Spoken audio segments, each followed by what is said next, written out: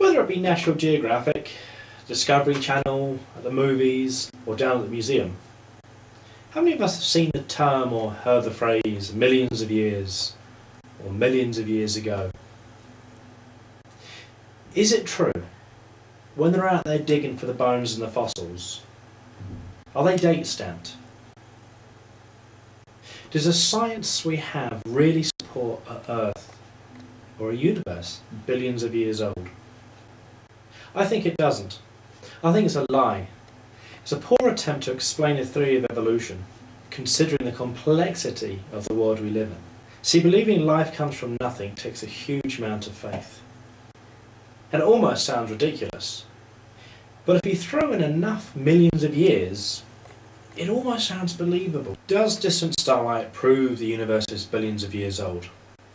The idea being that as we can observe light from stars we know to be billions of light years away, must have taken that time to come back to us as the observer. Well, there's a philosophical answer to this question as well. The Bible tells us that God is omnipresent, omniscient, and omnipotent. God is everywhere, He knows everything, and He's all powerful. With a God like this, is it possible the laws of chemistry and physics would bow down to? The God who walked on water turned water into wine, calmed the storms with His very word? Is it possible that the laws of nature wouldn't apply?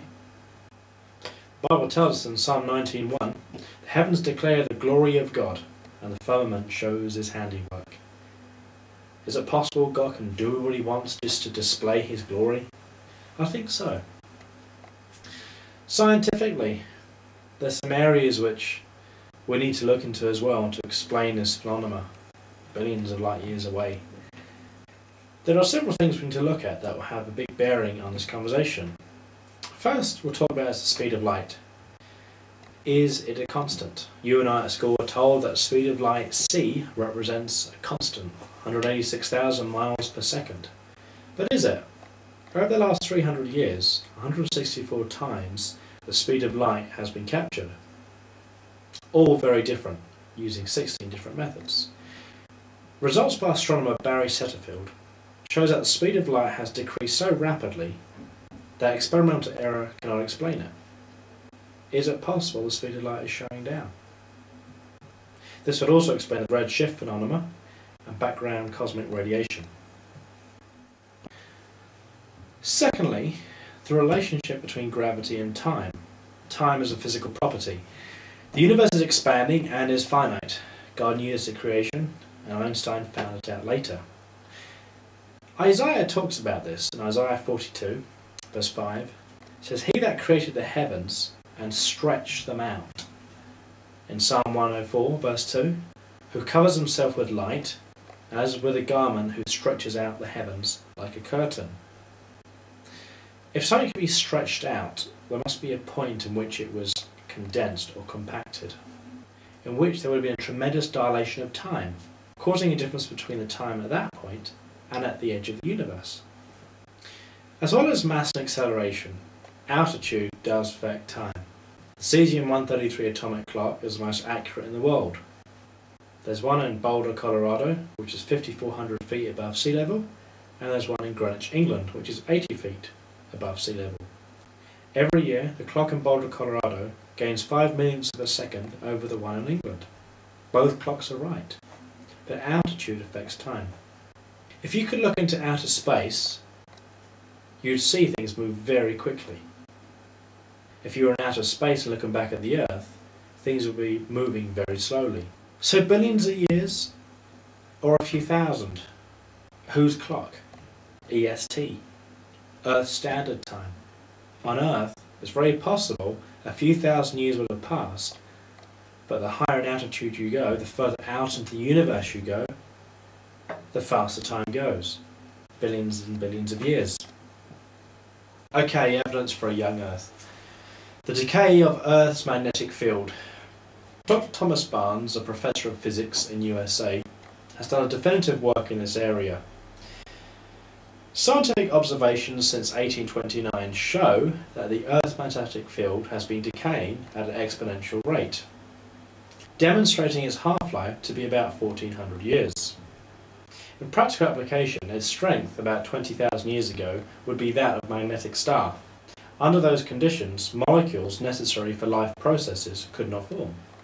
This demonstrates the Earth's entire history is young, within thousands of years.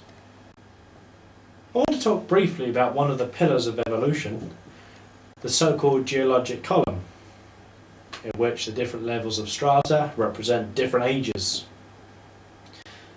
Well, apart from the fact fossilised trees have been found growing right the way through these different levels of strata, man-made prints and artifacts such as hammers have been found in the Cretaceous rock.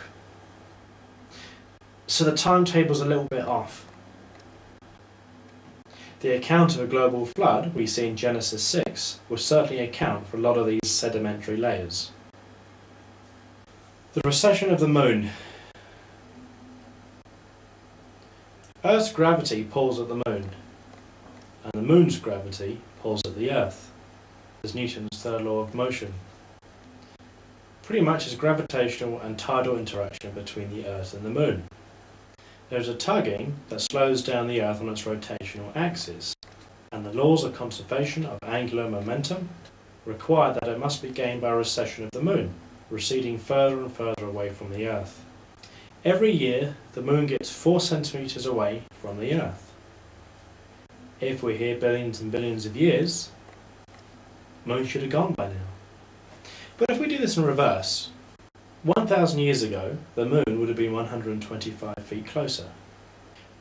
1 million years ago, the Earth would have been 28.4 miles closer to us. 10 million years ago, the Earth would have been 284 miles closer to us. 100 million years ago, the Moon would have been 2,840 miles closer to us. And 1 billion years ago, the Moon would have been 28,400 miles closer to us and just at 1.4 billion years the moon would have been in contact. Now I'm just illustrating numbers here. That's an extreme scenario. The moon wouldn't have to come very close to the earth at all before the gravity would rip it to shreds.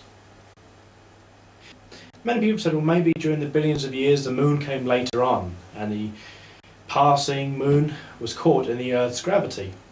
Well there's several problems here too. Supposing it could get caught in the Earth's gravity, it would either slingshot it around and go off somewhere else, or if it did, we would see a lot more elliptical orbit rather than the circular one we see. So either way, there's a problem. The best explanation for the Moon that it was created in its present orbit about six to seven thousand years ago. Finally, for now, I'm just going to talk about human population.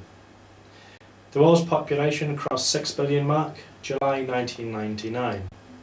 In 1985, there was 5 billion people. In 1800s, it's agreed there was about 1 billion people. From that growth curve, it's very possible around 4,400 years ago, population started. The Bible teaches God made us 6,000 years ago. There was a worldwide flood about 4,400 years ago. And Noah and his family, a total of 8 people, were saved. If you start with 8 people, you can get yourself a population of 5 or 6 billion people in just a few thousand years. If you believe in evolution, and you have about 3 million years, it would mean the growth curve you'd have on this planet 150,000 people per square inch. And that's crazy. In the interest of time, I've just gone over a few things which go against the idea that the planet and universe has been here for billions and billions of years. There's many more areas of science that support a young Earth. And just some things to note, the Earth has not been proven scientifically to be billions of years old. The Bible teaches a literal six-day creation.